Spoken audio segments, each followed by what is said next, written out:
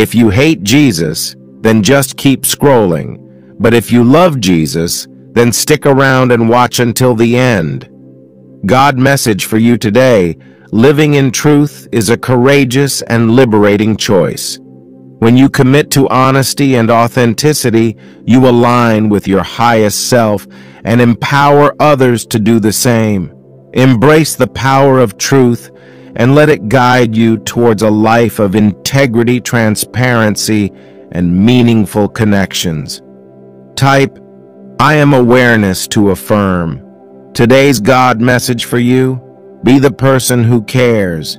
Be the person who makes the effort, the person who loves without hesitation. Be the person who bears it all, the person who never shies away from the depth of their feeling or the intensity of their hope. Be the person who believes in the softness of the world, in the goodness of other people, in the beauty of being open and untethered and trusting.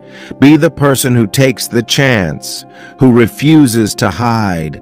Be the person who makes people feel seen, the person who shows up.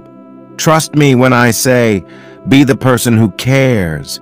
Because the world doesn't need any more carelessness, any more disregard. Because there is nothing stronger than someone who continues to stay soft in a world that hasn't always been kind to them. Type I am God's child to affirm this to yourself.